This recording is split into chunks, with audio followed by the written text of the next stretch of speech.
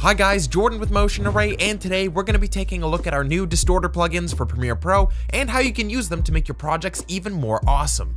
These distortion plugins are amazing. They're basically a combination of motion and distortion to give a fluid and trippy transition that seamlessly blends one clip to the next. And like all of our plugin transitions, these work by simply dragging and dropping right from your effects panel. So we're gonna get right into it and learn how to use these, but if you wanted to learn more about how to install these, feel free to check out the full video we have on that topic and I'll make sure to leave a link for you to check it out. And even though you need a paid subscription to get rid of the watermark on these, they're free to try out and play around with. And when you download these, you download our entire catalog of plugins and the shifter set is completely free. So there's no reason not to check these out. So once you get these plugins installed, you can find them in your effects panel under video transitions and in their own folder called MA Distorter. From here, you can just drag and drop them onto the cutting point between two pieces of footage, and the transition is ready to go. Play through to see it in action, and in this set there's four distinct transitions, Bulger, Rippler, Roller, and Stretcher. But once you drop one of these down, you don't just have to use them as they are, you can actually have an insane amount of control over how these plugins look. To change these up, just highlight the plugin and then go up to your effect controls panel. Here we can see that for the bulger transition, we have a bunch of different parameters able to be edited. Anchor will allow us to change up the direction and angle at which the motion is actually taking place. Maybe you want to push in or out from a particular part of the frame. With these controls, you can actually do that. Next up, we have rotation. This changes how much rotation takes place during the course of the transition. Setting it to zero will give you no rotation, while setting it to a higher number will give you more of a twisting motion throughout the transition. Fisheye amount dictates literally how much bulge takes place during the bulger transition, while fisheye radius controls how far that bulge spreads through the frame. 100 will make it closer and more extreme at the center, and 200 will push it to spread farther out towards the edge of frame.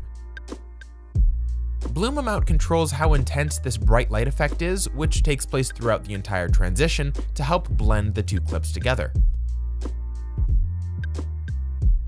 While RGB offset impacts how much of a color splitting effect happens. Random Seed simply chooses a new starting point for the RGB offset to randomize the look. And finally, you have a binary on-off checkbox to either activate or deactivate motion blur during the course of the transition and an amount slider which controls its intensity. 10 will give you a lot, while 0 will take away any instance of motion blur. The only additional parameters to show you would be with the roller transition. So if we pop it on, we can see that we also have a movement direction and roll amount. Direction will change literally the direction of motion to exactly what it says. Right now it's set to left to right, so the transition will happen from the left to the right. But we can change that to right to left, top to bottom, or bottom to top.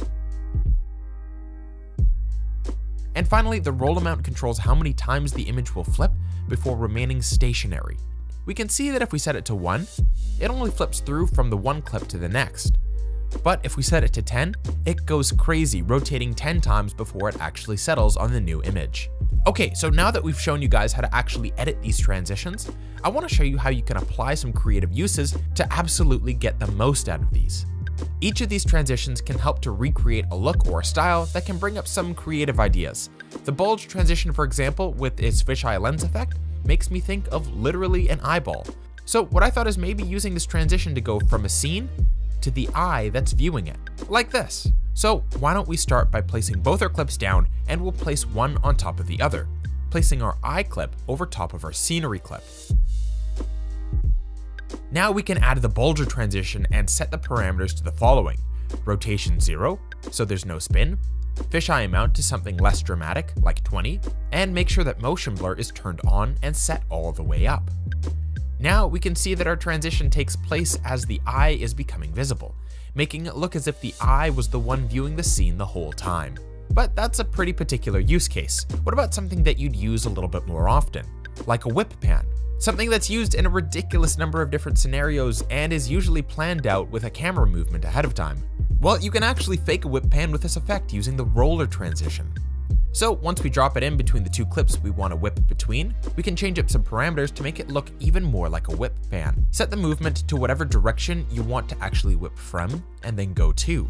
Set the roll amount to 1, the bulge amount to something a lot lower like 15 to 20. You could also set it to 0 if you just want a 2D horizontal whip from one to the other, but setting the bulge to something a little higher than 0 will help it to look like the camera has a bit of swing or an arc to it like the camera is actually whipping on a tripod head and not just moving in 3D space from left to right.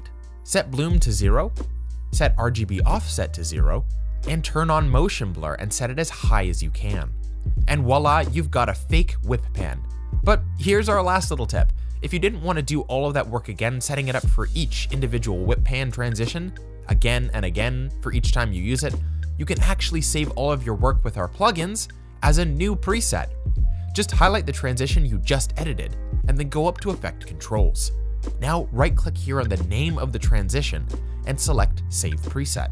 Here you can name it so that it's really easy to recognize, and I like to keep mine preserved to scale. And you can find your preset now by going to your effects panel and looking inside of the presets folder. And now when you drag and drop this new version in, you get all of that work you just did. Now just set the direction and you're good to go. But we've only used this on footage so far. We can actually use these transitions on titles as well to make them look really cool. Here's my favorite way to use them. I like to make a piece of text that really stands out, and then I'll make three to four exact duplicates of it by holding Alt and dragging to duplicate it. Then add the Rippler effect to each one and make sure each version is a little longer or shorter, so they all take place at slightly different times. Once that's all set, Highlight each one and change up the anchor amount to give a new direction and feel to the distortion. And feel free to play around with the barrel amount to impact the bowing effect. Once you get that done for each of these, you should have something that looks like this. But you can take this up a bit by adding some effects. Like for example, we can add a find edges effect and set it to inverse so that we only get the outline of our text. Doing this for all except for one of your text layers makes it look like there's one true piece of text and then other pieces that are ghosting around it. Now, nest each of these layers and set each of them to screen in effect controls under opacity. And our text has multiple iterations of the transition, but some of them are just outlines with the middle showing through. And now finally you can add the same transition to each for a perfect synchronized transition out, or stagger them for extra impact. Guys, we hope you really enjoy using our new distorter transition set.